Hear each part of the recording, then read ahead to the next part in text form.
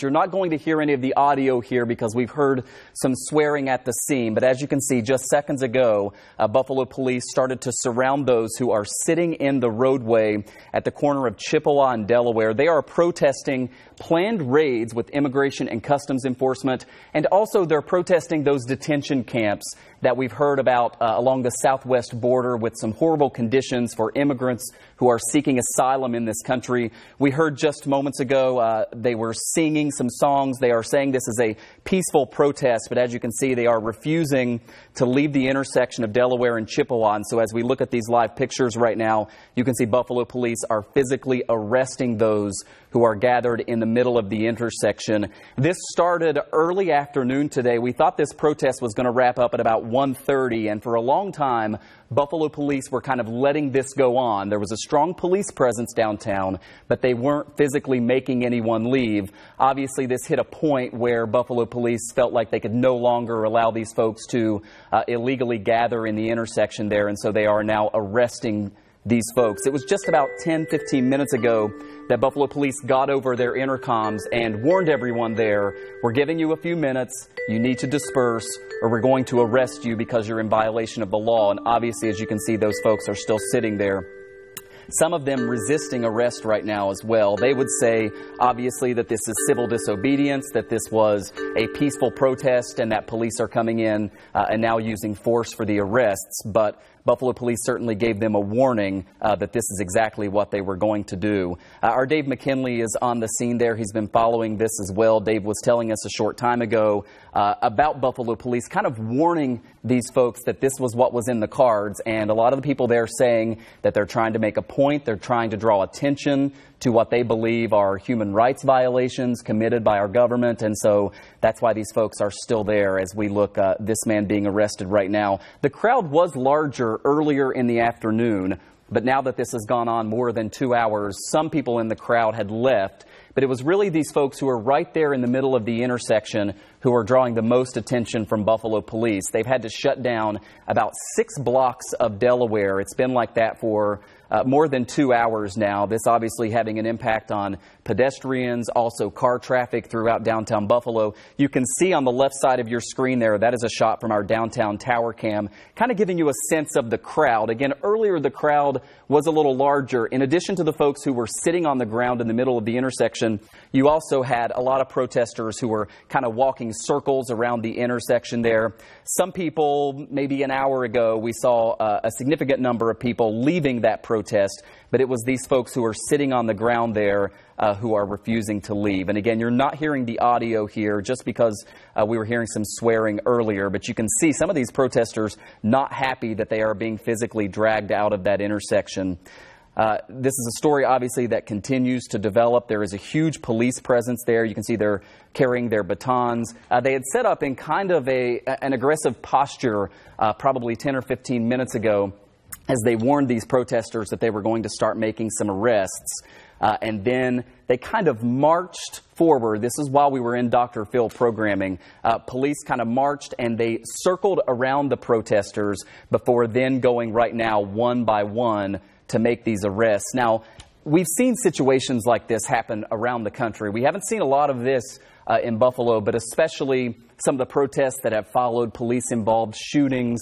We've watched the pictures there, and there is a systematic approach that police take when they are arresting these protesters. They surround the group as you can see as we look back here, to make sure that no one uh, starts to charge at them or no one who is also in the vicinity there uh, interrupts as they effectuate these arrests. Um, and then it is another group of officers that kind of go one by one and make these arrests. And so Buffalo police now have probably arrested about a half dozen people. It looks like maybe uh, a couple more remain there, but their goal, as they announced to the crowd, was that they were going to go in, they were going to make these arrests, that they've allowed this protest to go on long enough, and that they plan to reopen the roadway and reopen the intersection uh, a little bit more of a crowd seems to have gathered there now that police are making the arrests. Um, and now you can see an officer kind of talking to one of the protesters there.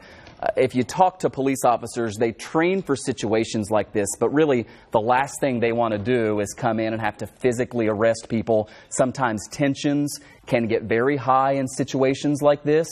Um, this, as you can see, an older lady being now taken away from the middle of the intersection there. They have handcuffed her, and we saw that they were uh, bringing up what they call a paddy wagon. Um, they drove that up about 20 minutes ago. It's nearby. That's what they will put them in. They'll presumably be taken to Buffalo Police Central Booking, where they will be charged uh, with a crime here as they've been arrested in the intersection. I believe this is the last protester, or perhaps one more, this one not being taken away without a struggle. Uh, it was probably between a half dozen and a dozen protesters who were in the middle of the intersection uh, who are of most concern to police right now because the other folks were mostly on the sidewalks, a lot of them probably watching the commotion uh, that was going on. But it was these folks who were right in the middle of the intersection who were keeping traffic from going by there. And that is why Buffalo police have decided to now come in and arrest them. And I believe this is the last person that they are now taking into police custody. Right before officers went out and started making these arrests,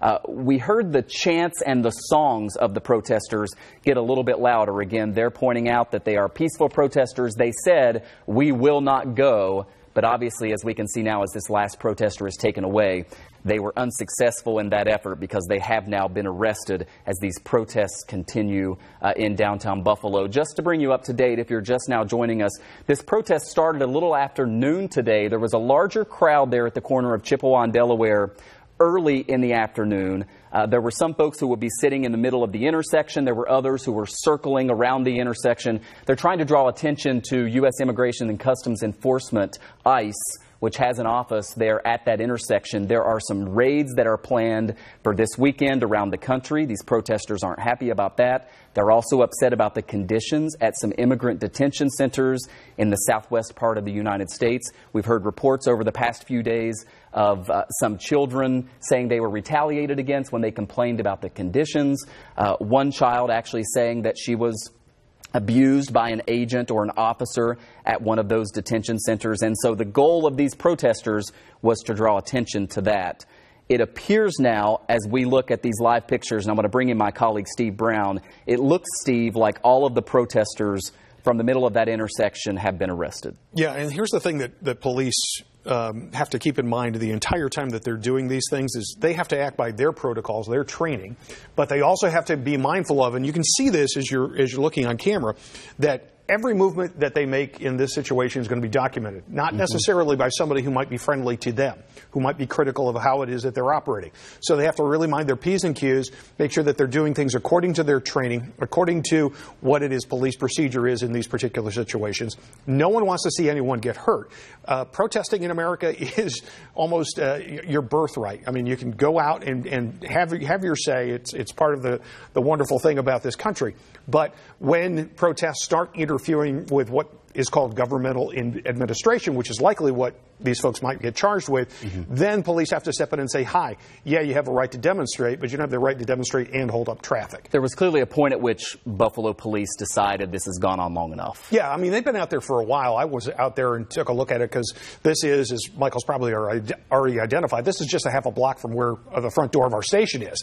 So I went down and took a look at this, and they've been out there for a while. And police, I think, would have exercised a great deal of patience here in allowing them to do what it is that they set out to do, which is make a statement about the political position that they wanted to talk about and draw attention to it. They've successfully done it because, hey, look, we're on live TV talking about it right here and now. Mm-hmm. But um, at a certain point, police have to make a measurement as to how they're going to go forward with this because we're now starting to head towards later afternoon. There are going to be some large offices and businesses that are going to start exiting the city. This is a major thoroughfare both in and out of the city. So you're going to need to start thinking about whether or not they're going to take action.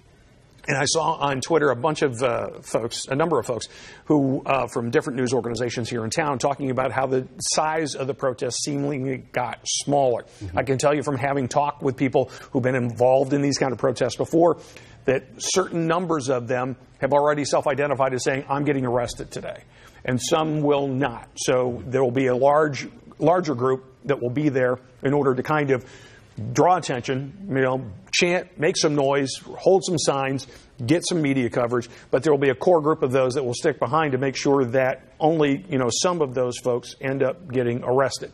Yep. Um, and in some certain circumstances, uh, this is all drawn, all planned out well in advance of demonstrations actually being executed. Yeah. So you can see here we have Channel 2's Dave McKinley who's at the scene. Dave, I hope you can hear me right now. Uh, we've had the audio down um, since we came back on the air this most recent time due to some swearing. Tell us what you've seen and what you've more specifically heard there at the scene over the past few minutes.